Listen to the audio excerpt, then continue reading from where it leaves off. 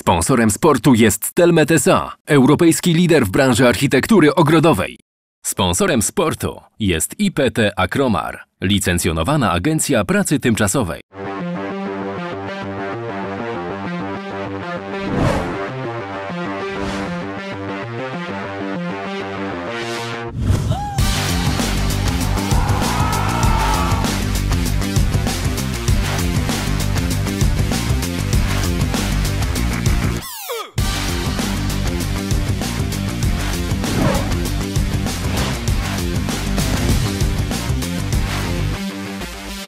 Sport w regionalnej telewizji lubuskiej. Jan Ratajczak, zapraszam. Zielona Góra żegna Puchar Europy. Stelmet w tej edycji Eurocupu rozegra ostatni mecz przed własną publicznością.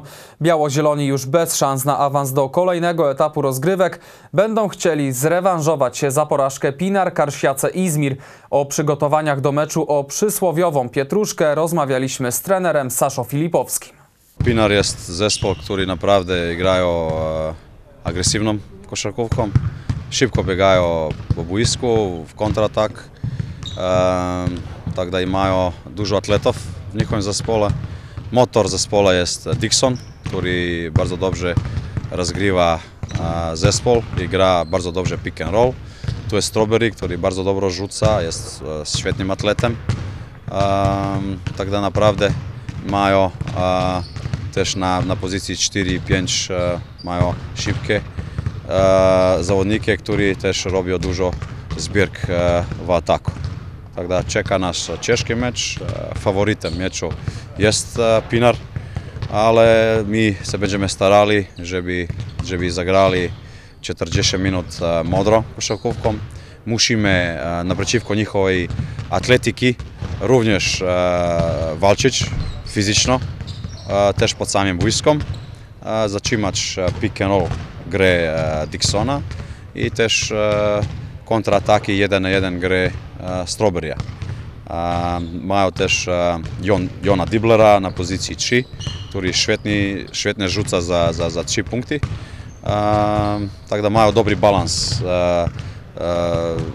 po perymetru i też pod samym, pod samym boiskom. E, Obrona i zbiórki są, będą, będą bardzo ważne i bardzo ważne będzie jak będziemy kontrolować piłkę u ataku, że naprawdę e, Pinar gra bardzo agresywnie na, na linii podania e, i ma e, na początku każde kwartę do bonusa grają bardzo agresywnie.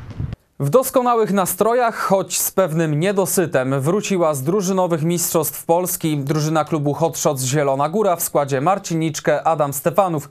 Nasi reprezentanci wywalczyli we Wrocławiu brązowe medale, przegrywając w całym turnieju tylko jeden mecz. Zielonogórzanie doznali jedynej porażki w półfinale, gdzie lepsza okazała się para Michał Zieliński i Kacper Filipiak, późniejsi triumfatorzy turnieju. Zielonogórzanie po raz kolejny udowodnili, że należą do ścisłej czołówki snookerzystów w Polsce.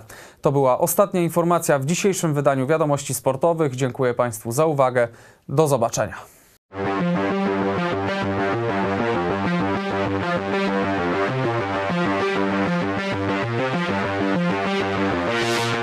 Sponsorem sportu jest Telmet SA, europejski lider w branży architektury ogrodowej.